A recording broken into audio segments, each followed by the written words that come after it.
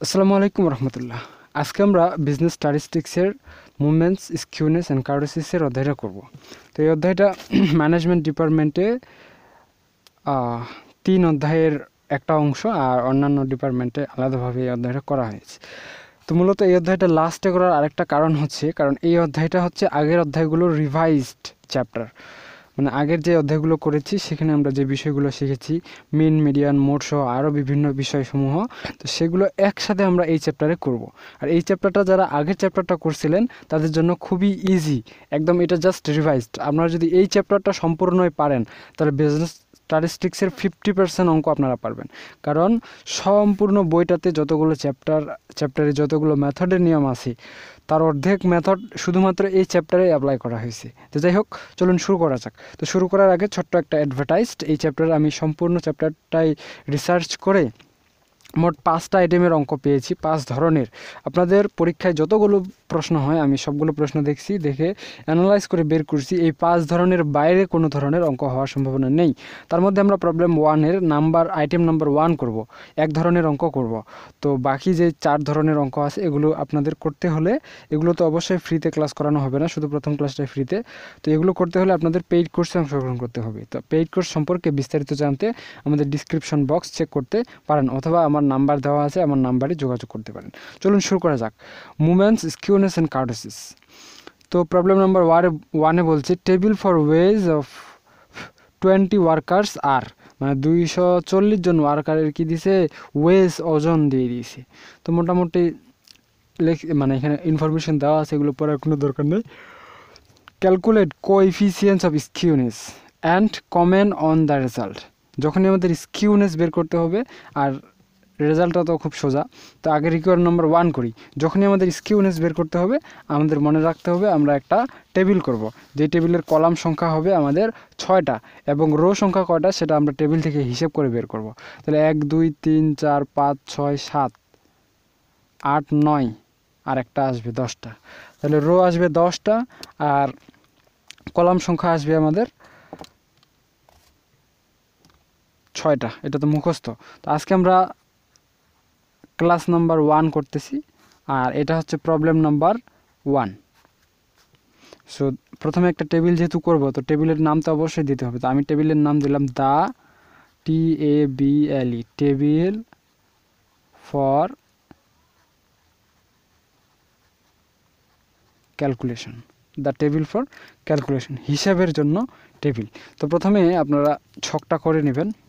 আমি ছকটা করে নিচ্ছি। এক, দুই, তিন, চার, পাঁচ, ছয়, সাত, আট, নয়, দশ। দশটা রো হয়ে গেছে, এখন কলাম হবে আমাদের কয়টা? ছয়টা। তো প্রথম কলামটা একটু বড় দেবো, কারণ এখানে ক্লাসগুলো লিখতে হবে। পরেগুলো ছোট দিলেও হবে। এই পাশে হয়ে গেল তিনটা, আর এই পাশে হয়ে গেল তিনটা। তাহলে রো কলাম হলো ছয়টা আর রো হলো দশটা।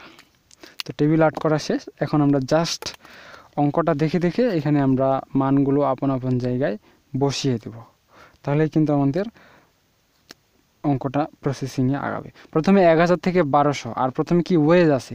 তো টাইটেলে আমরা ওয়েজ দেবো W A G E S wage এক হাজার থেকে বারোশো বারোশো থেকে চোদ্দোশো চোদ্দোশো থেকে ষোলোশো মানে প্রতিবার দুইশো করে বাড়তেছে। তাহলে এখানে এক হাজার থেকে বারোশো বারোশো থেকে চোদ্দোশো চোদ্দোশত থেকে ষোলোশো ষোলোশো থেকে আঠারোশো আঠারোশত থেকে দুই হাজার দুই হাজার থেকে বাইশশো। বাইশশো থেকে চব্বিশশো। চব্বিশশো থেকে ছাব্বিশশো। এই যে দেখেন, ছাব্বিশশো পর্যন্ত আছে। আর এখানে আমরা টোটাল লিখে দিতে পারি। টোটাল এখন এই পাশে আমরা এফ বা ফ্রিকোয়েন্সিগুলো লিখব। তো এখানে ওয়েজ নাম্বার অফ ওয়ার্কারকে কী বলা হয়? ফ্রিকোয়েন্সি বলা হয়। বারো, আঠারো, পঁয়ত্রিশ। বারো, আঠারো, পঁয়ত্রিশ। বিয়াল্লিশ, পঞ্চাশ, পঁয়তাল্লিশ, তিরিশ। বিয়াল্লিশ, পঞ্চাশ, পঁয়তাল্লিশ, তিরিশ। এখানে আট। আচ্ছা তো মোটামুটি এগুলো আমাদের তোলা শেষ। এখন আমরা এখানে চারটা জিনিস লিখব। যখনই আমাদের স্কিউনেস বের করতে বলবে, আমরা চারটা জিনিস বের করব। প্রথমটা হচ্ছে এক্স বা মিড ভ্যালু বা মিড পয়েন্ট দুই নম্বর হচ্ছে ডি তিন নম্বর হচ্ছে এফ আর ডি গুণ করব। চার নম্বরে এফ ডি স্কোয়ার এই উপরের টাইটেলটা হেডলাইনটা আপনারা মুখস্থ করবেন, হয়ে গেল। তো এখন প্রথমে এক্স মানে মিড ভ্যালু কীভাবে বের করতে হয়? এক হাজার আর বারোশো যোগ করে সরি বারোশো থেকে এক হাজার বিয়োগ করলে দুইশো আসবে। দুইশোর সাথে প্রথমের এক হাজার যোগ করব। তাহলে এখানে আসবে এগারোশো। ঠিক আছে? দুইশো সরি ওই যে দুইশোকে দুই ভাগ করব, একশো আসবে। আর একশোকে এই এক হাজারের সাথে যোগ করব। এটা আপনারা আগেই আমি শিখাইছি। এই দুইটা যোগ করে দুই দিয়ে ভাগ। বারোশো আর চোদ্দোশো যোগ করে দুই দিয়ে ভাগ করলে আসবে তেরোশো। তারপরে এখানে দুইশো করে যোগ হইতে থাকবে। তাহলে এখানে পনেরোশো, এখানে সতেরোশো, এখানে উনিশশো, এখানে একুশশো এইভাবে এখানে তেইশশো। আপনারা পারবেন। এই দুইটা যোগ করে দুই দিয়ে ভাগ দিবেন শেষ হিসাব। এখানে পঁচিশশো। এরপরে ডি ডি আমরা যে কোনো জায়গায় ধরতে পারি, আমরা মাঝখানে ধরার চেষ্টা করব। তবে একটা জিনিস খেয়াল রাখবেন ডি ধরার সময় এই এখানে যে বড় ফ্রিকোয়েন্সিটা থাকবে, এইখানে বেশি ধরার চেষ্টা করবেন। তাহলে মানটা একদম কাছাকাছি হওয়ার সম্ভাবনা আছে। আর নিচে ধরলে কিছুটা পয়েন্টের ক্ষেত্রে কিছুটা চেঞ্জ হয়, কিন্তু ওইভাবে চেঞ্জ হয় না। চোখে পড়ার মতো চেঞ্জ হয় না। আচ্ছা তো আমি উপরেগুলো মাইনাস হিসেবে বাড়াইতে হয় আর নিচে প্লাস হিসেবে বাড়াইতে হয়। আই মিন ছোটো থেকে বড়। এরপর এফ ডি তো এখানে বুঝতেই পারছেন ডি আর এফ গুণ। তাহলে চার বারং আটচল্লিশ, এখানে মাইনাস ছিল মাইনাস তিন আঠারো কত? এখানে মাইনাস ছিল তিন আঠারো চুয়ান্ন। তারপর পঁয়ত্রিশ দুগুণি সত্তর মাইনাস বিয়াল্লিশ একে মাইনাস বিয়াল্লিশ, এখানে শূন্য। পঁয়তাল্লিশ একে পঁয়তাল্লিশ, তিরিশ দুগুণে ষাট, তিন আষ্টে চব্বিশ এফ ডি স্কোয়ার মানে এখানে চার চোখ ষোলো, তিন তিরিকে নয়, এখানে সব প্লাস আসবে এফ ডির ক্ষেত্রে। তাহলে এখানে আর আরেকটা আপনারা শর্টকাট ব্রেন খাটাতে পারেন এর দুইটাকেও গুণ করে দিতে পারেন। গুণ করে এই পাশে লিখলে অ্যান্সার যা আসবে, আর এইটা, এইটাকে স্কোয়ার করার পর এইটার সাথে গুণ করলে অ্যান্সার তাই আসবে। তাহলে এখানে বারো আর ষোলো, এখানে চার চক ষোলো, তাহলে বারো আর ষোলো গুণ করলে কত আসবে? একশত বিরানব্বই। আর চারকে এই মাইনাস মাইনাস এখানে প্লাস এগুলো প্লাস তো এমনিতেও হবে। চারকে আটচল্লিশ দিয়ে গুণ করলেও একশো বিরানব্বই আসবে। তাহলে এখানে আপনারা গুণটা করে নিয়েন, আমি পরেরটাতে একশো বাষট্টি আসবে। একশো চল্লিশ, বিয়াল্লিশ, শূন্য, পঁয়তাল্লিশ একে পঁয়তাল্লিশ, একশো বিশ, নিচে আসবে বাহাত্তর। এখন আমাদের যোগ করার পালা। তো ফ্রিকোয়েন্সিগুলো যোগ করব, এটা আমাদের প্রশ্নের মধ্যে দেওয়া আছে, এটাকে এন বলে দুইশো চল্লিশ হবে, এটা আমরা যোগ করছি। এরপর আমরা কি করব? এরপর এই যে এফডিটা আছে, এফডিটাকে যোগ করব। সবগুলো যদি যোগ করি, তাহলে এখানে সামেশন এফডি যোগ করলে কত আসবে? মাইনাস এইটটি ফাইভ আসবে, আমার যোগ করা আছে। আর এগুলো যদি যোগ করি সামেশন এফ ডি স্কোয়ার সমান এখানে কত আসবে? সাতশো তিয়াত্তর আসবে। তো মোটামুটি যোগ টোগ করা শেষ। এখন আমরা কি করব? একটা টেবিল করছি।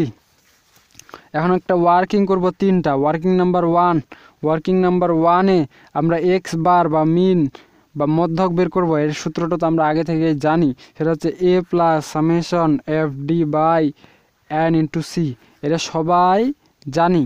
তাহলে here H E R here হেয়ারে আমরা কি কি করব? কিসের মান বের করব? এর মান বের করব। আর কিসের? সামেশন এফ ডি আর কিসের? সির মান। তো এর মান কোনটা? এর মান হচ্ছে এইখানে যেটাতে শূন্য ধরছিলাম এখানে যেটা শূন্য ধরছিলাম তার এক্স মিড ভ্যালু তাহলে এখানে উনিশশো উনিশশো নাইনটিন হান্ড্রেড সামেশন এফডির মান মাইনাস এইট্টি ফাইভ আর সির মান হচ্ছে এটা থেকে এটা বাদ করে দেবো, ছাব্বিশশো থেকে চব্বিশশো গেলে দুইশো। এটা তো আপনি, আমি আপনাদের আগে থেকেই শিখিয়েছি। আচ্ছা summation FD minus eighty five এনের মান দুইশো চল্লিশ এনের মান এখানে লিখে দেবেন দুইশো। চল্লিশ সির মান কত? দুইশো। তো এটাই আশা করা যায় আপনারা ক্যালকুলেশন করতে পারবেন। ক্যালকুলেশন করলে এখানে আঠারোশো উনত্রিশ আঠারোশো উনত্রিশ দশমিক সতেরো আসবে। এটাকে আপনার ক্যালকুলেশন এই যে প্লাস মাইনাস যে মাইনাস এই জন্য উনিশশো থেকে আবার মাইনাস হয়ে যাবে। ঠিক আছে? তো ওয়ার্কিং নাম্বার ওয়ান শেষ। ওয়ার্কিং নাম্বার ওয়ান শেষ। এরপর আমরা ওয়ার্কিং নাম্বার টু করব। তিনটা ওয়ার্কিং করলেই অঙ্ক শেষ। মূল অঙ্কটা কিন্তু কিচ্ছু না। শুধু ওয়ার্কিংগুলাই একটু বড়। দুই নম্বরে আমরা মোট বের করব। মোট, এম ও ডি মোট। স্কিউনেস বের করার জন্য এগুলো কিন্তু ওয়ার্কিং করছি। মোড মোডের সূত্রটা সবাই জানেন, খুব সহজ। L plus delta one by delta one plus delta two into C তাহলে এখানে হেয়ার বার করি। হে এইচ ই আর ই হেয়ার এখানে এল এর মান লাগবে ডেল্টা ওয়ানের মান লাগবে ডেল্টা টু এর মান লাগবে। সির মান দুইশো, এটা আমরা জানি। এখানে এল এর মানটা কোথায় পাবো? এল এর মানটা কোথায় পাব? এলের মানটা এখানে যে শূন্য ধরছিলাম, এর সোজা ওয়েজে বা এখানে ওয়েজ না, এখানে ক্লাস হবে। C L A double S এখানে ক্লাস হবে। আচ্ছা এর সোজা এ ছোট মানটা হবে আঠারোশো টাকা। তাহলে আঠারোশো টাকা আমরা এল এর মান লিখলাম। ডেল্টা ওয়ান কীভাবে? সব থেকে বড় ফ্রিকোয়েন্সি কত? পঞ্চাশ। তাহলে সব থেকে বড়টা থেকে উপরেরটা বিয়োগ করে দেবো বিয়াল্লিশ। তাহলে ডেল্টা ওয়ানের মান আসবে এইট আর সব থেকে বড়টা থেকে নিচেরটা বিয়োগ করে দেবো, তাহলে পঁয়তাল্লিশ। পঞ্চাশ থেকে পঁয়তাল্লিশ গেলে আমাদের মান আসবে পাঁচ। এটা হচ্ছে ডেল্টা টু এর মান। কাজ শেষ। এখন আমরা কি করব? মানগুলো বসাই দেবো। এল এর মান আঠারোশো। প্লাস ডেল্টা ওয়ানের মান আট ডেল্টা টু এর ডেল্টা ওয়ানের মান আট আর ডেল্টা টু এর মান পাঁচ ইন্টু দুইশো। আশা করা যায় এটা আপনারা ক্যালকুলেশন করতে পারবেন। এখানে আসবে উনিশশো তেইশ দশমিক জিরো এইট। তো আশা করা যায় এতটুকু আপনারা ক্লিয়ারলি বুঝতে পারবেন, কোনো সমস্যা হবে না। এরপরে কি করব? ওয়ার্কিং নাম্বার থ্রি এতক্ষণে আমরা মিন আর মোট বের করছি। এরপর আমরা স্ট্যান্ডার্ড ডিভিয়েশন বা এসডি বা সিগমা বের করব। স্ট্যান্ডার্ড ডিভিয়েশন এসডি বা সিগমা একই কথা। তো সিগমা বের করার সূত্রটাও তো আমি আগে শিখাইছি। সেটা হচ্ছে summation F D square by N minus summation F D by N হল স্কোয়ার ইন্টু সি সির উপর কিন্তু ব্রাক, ইয়া নাই, রুট নাই। আচ্ছা সামেশন এফ ডি স্কোয়ার, এটা আমরা কোথায় পাবো? এটা আমরা এ যে টেবিলটা করছিলাম, টেবিলের মধ্যে পাবো সামেশন এফ ডি স্কোয়ার সাতশো তিয়াত্তর তাহলে সামেশন এফ ডি স্কোয়ার সাতশো তিয়াত্তর বাই এনের মান দুইশো চল্লিশ মুখস্থ আছে। সামেশন এফডির মান মনে নেই, দুইশো চল্লিশ, এখানে হল স্কোয়ার ইন্টু সির মান দুইশো। তাহলে সামেশন এফডির মান কত? সামেশন এফ ডির মান মাইনাস পঁচাশি মাইনাস পঁচাশি। এখন যদি ক্যালকুলেশন করি সাতশো তিয়াত্তরকে দুইশো চল্লিশ দিয়ে যদি ভাগ দেই, তাহলে তাহলে আমাদের থ্রি পয়েন্ট ডাবল টু মান আসবে। আর এ মাইনাসে মাইনাসে প্লাস হয়ে গেল, পঁচাশিকে দুইশো চল্লিশ দিয়ে ভাগ করে যদি স্কোয়ার করি, তাহলে আসবে পয়েন্ট ওয়ান টু ইন্টু দুইশো। তো এটাকে রুট করে ক্যালকুলেশন করলে রুট করে ক্যালকুলেশন করলে থ্রি তিনশো পঁয়ষট্টি দশমিক ফাইভ ওয়ান আসবে। তো এত কিছু তো করে ফেললাম ওয়ার্কিং কিন্তু আমাদের প্রশ্ন কি বলছে? প্রশ্নে চাইছেটা কি? প্রশ্নে চাইছে ক্যালকুলেট কোএফিসিয়েন্স অফ স্কিউনেস দুই নম্বরে বলছে কমেন্ট অন দ্য রেজাল্ট তাহলে স্কিউনেস চাইছে আর কমেন্ট করতে বলছি। তাহলে রিকোয়ার ওয়ান করি require one require one skewness S K E W N E double S skewness সমান কি X bar minus mode M O D mode by standard deviation শেষ। তাহলে আমরা কি বের করছি সবগুলোই? অবশ্যই সবগুলোই বের করছি। এই যে মিন বা এক্স বার এক্স বারের মান আমরা এর আগে করছি ওয়ার্কিং নাম্বার ওয়ানে বাড়ি ছিল আঠারোশো উনত্রিশ দশমিক সতেরো, আঠারোশো উনত্রিশ দশমিক সতেরো। মাইনাস আছে মাইনাস এরপরে মোড মোডের মানটা এখানে বের করেছিলাম ওয়ার্কিং টুয়ে উনিশশো তেইশ দশমিক জিরো এইট উনিশশো তেইশ দশমিক জিরো এইট আর কি স্ট্যান্ডার্ড ডিভিয়েশন তো এখানে বের করছি তিনশো পঁয়ষট্টি দশমিক ফাইভ ওয়ান এটাকে যদি ক্যালকুলেশন করি, আশা করা যায় এটা আপনারা ক্যালকুলেশন করতে পারবেন। তাহলে আসবে minus minus zero point two six require one শেষ, এখন রিকোয়ার টু রিকোয়ার টু এ কী বলছে? রিকোয়ার টু এ বলছে কমেন্ট অন দ্য রেজাল্ট রেজাল্টটার উপর কি করতে হবে? কমেন্ট করতে হবে। খুবই ইজি ইজি তাহলে C O M M E N T comment comment করব। কমেন্টে কি লিখব? There is T H E R E there is এটা কি পজিটিভ না নেগেটিভ এটা এটা অবশ্যই নেগেটিভ কারণ সামনে মাইনাস চিহ্ন আছে। নেগেটিভ তাহলে there is negative N E G A T I V negative result R E S U L T result of skewness S K E W N E double S তার মানে বোঝা গেল এখানে রেজাল্টের negative এখন এইটা যদি মাইনাস চিহ্নে কখনো কখনো না আসে, এটা যদি মাইনাস চিহ্নে কখনো কখনো না আসে, তখন আমরা লিখব there is positive result of the skewness of the skewness ঠিক আছে? তো আশা করি আপনারা বুঝতে পারছেন ক্লিয়ারলি আর কোর্স সম্পর্কে জানতে চাইলে অবশ্যই অবশ্যই আমার ডিসক্রিপশন বক্স থেকে নাম্বারটা সংগ্রহ করে ফোন দিতে পারেন। আচ্ছা আজকে পর্যন্তই। সকলে সুস্থ থাকুন, ভালো থাকুন, আর আমাদের সাথে থাকুন। দেখা হবে নেক্সট পর্বে। ততক্ষণ পর্যন্ত খোদা হাফেজ।